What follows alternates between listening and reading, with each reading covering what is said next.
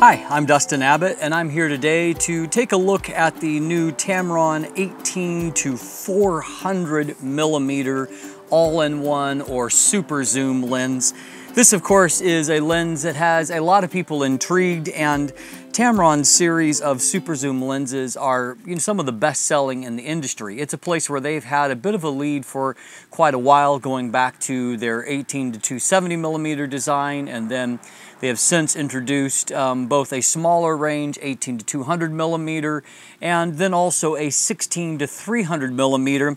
But this of course pushes the envelope on the telephoto in much further out to 400 millimeters.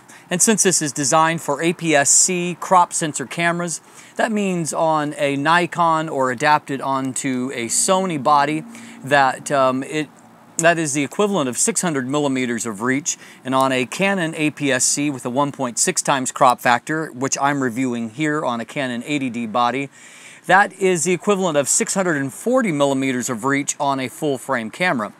So that's obviously very significant. And, and so it means that um, people that are doing all-in-one or travel, they're not only going to be able to get wide angle, but they're going to get a pretty incredible amount of zoom out of this. Now, any kind of super zoom type lens is a series of compromises to make it work because obviously this is the smallest lens that I'm aware of for uh, DSLRs that will allow you to get out to 400 millimeters. And it's also the lightest lens that I'm aware of that reaches out to 400 millimeters. So that being said, it's a little bit um, heavier than what some of the competitors are. It comes in at 1.56 pounds or 710 grams.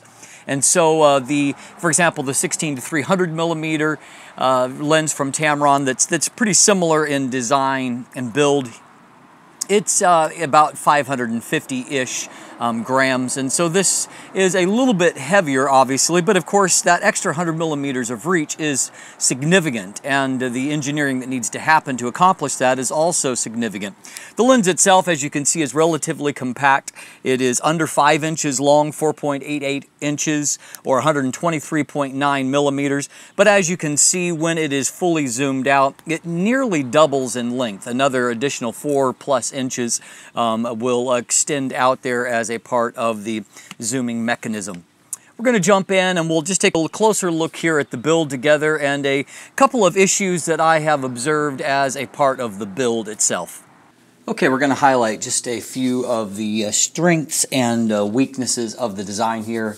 Obviously looking at the lens at uh, just in general here we can see that it's a nice looking lens and uh, follows uh, Tamron's current design language, which I've now seen on a couple of lenses translated into a consumer grade. So this is a trickle-down effect from their SP series, and while nothing here is metal like it is on the SP series, we do see that they're similar design language overall, and they have their you know luminous gold ring. Positive note here is that at the uh, lens mount, we do have a, a, gasket here, and so there is some uh, weather sealing that's a part of the design, which is a great thing when you consider that this is going to be a lens used quite often for travel. Now, uh, looking around to the front, there is a 72 millimeter front filter thread. Not particularly common, um, at least amongst the lenses that this would be shared with. It's uh, Canon has a number of uh, prime lenses that are at 72 millimeters but um, certainly not a standard amongst consumer grade lenses. There are two switches on here, AF, MF, and then the vibration compensation on and off. This does have uh, their vibration compensation.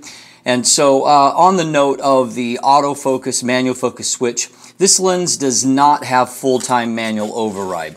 And so that um, brings up one of the uh, problems here that I do want to just delineate for you in terms of the build.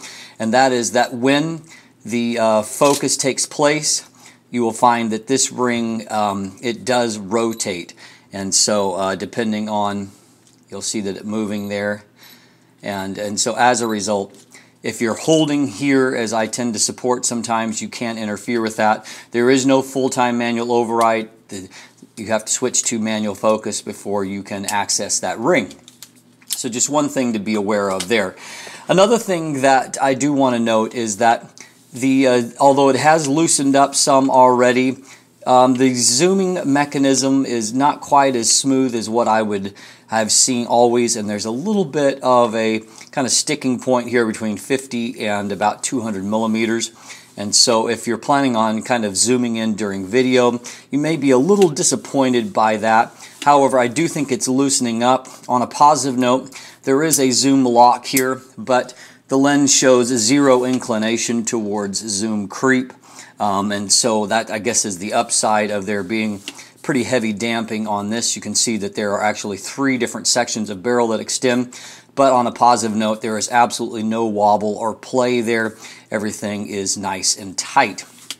And so a, you know, a decently made lens, um, a kind of a, you might call this an international lens. It says designed in Japan. It is made in China with a lens hood that is made in the Philippines. So as you can see, there are some strengths and weaknesses there. This is an attractive lens. It does have some degree of moisture resistance or weather sealing. So if you're pairing it with an APS-C body like this 80D, for example, that also has some moisture resistance, it means that, you know, you have a little less fears when traveling of the intrusion of dust or moisture. I will note, however, that due to kind of the bellows design of this, it's definitely pushing some air in and out as a part of that. So I wouldn't be surprised, even with some moisture resistance, dust resistance to find some dust get in there over time. But overall, you know, as far as these consumer grade lenses go, this is a nicely built lens other than those kind of two, you know, minor criticisms that I have to offer up. Now, the zoom range is a 22 point you know, two, three times zoom, which is, it is the world's largest at this point, and it allows you to go from very wide to extremely zoomed in as these series of images show just how extreme that focal range is. So the upside of that, of course, is that in one lens, you definitely can shoot just about every type of photography imaginable. But uh, understand at the same time that there are some limitations, optical limitations when it comes to that. And so as far as the images I'm seeing coming out of the camera, on a global level, they look pretty good. I would like to see a hair bit more contrast. And, um, but I mean, you can't expect miracles. And of course, a lot of the time I'm reviewing lenses that cost many times more than this and are optimized for one single focal length, prime lenses. And so uh, obviously you can't really expect them to compare. It's just not a reasonable thing. But I think that for most shooters, they will be satisfied with the image quality they get. Just don't pixel peep too much. Um, it's not that the detail is terrible, but neither is it going to blow you away when you, uh, you know, zoom into a pixel level on images, particularly on the longer end. Expect a lens like this, and that's certainly the case here, to be strongest in the middle of the focal range. And so, you know, anywhere between 30 and uh, you know about a 200 millimeters is going to be the strongest portion of the actual zoom range. And so you know on the, the wide end is actually not bad but at 400 millimeters expect a little bit of loss of, of detail. It just doesn't render the fine details all that exceptionally in my opinion.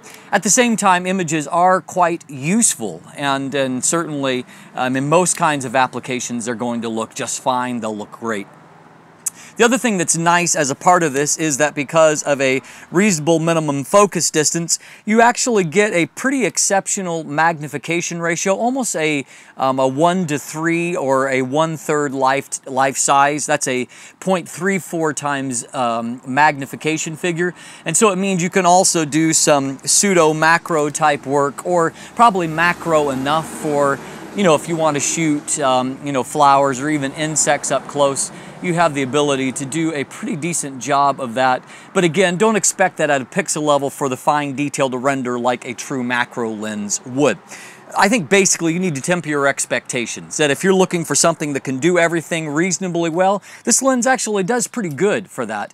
But if you're looking for it to uh, compete with, um, you know, lenses with either a much, much smaller zoom range or a prime lens, I think that that is an unreasonable expectation of that. One thing that I did notice in terms of optical, you know, weaknesses, I did see a little bit of flare, and so make sure to use the lens hood.